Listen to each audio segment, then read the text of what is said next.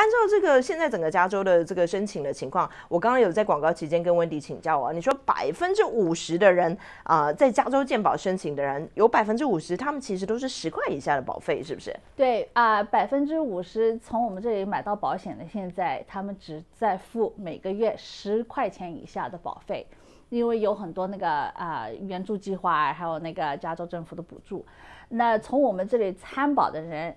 四个人里面一共有三个，他们所有的保费都是在一百块钱以下。哇！所以现在很多补助已经啊，已经为我们加州民众啊，可以他们使他们更就是容易买到保险，然后所有的保险计划都比以往更便宜。所以我们说现在呃做了很多宣传，然后大家也可以听到很多广告，就是因为想跟大家说，如果你以前是从私人那里买到保险，或者以前没有资格拿到补助的话，现在是最好的时间，可以查看一下你是不是可以拿到补助。嗯。